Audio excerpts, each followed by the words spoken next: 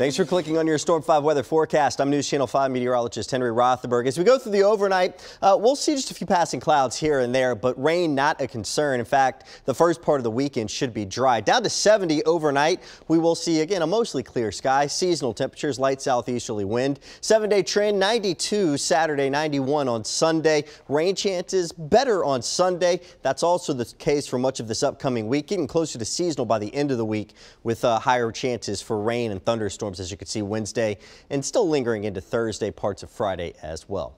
Thanks for clicking on your Storm 5 weather forecast. Meteorologist Heather Mathis will have the latest for you starting at 5 a.m. on News Channel 5 this morning.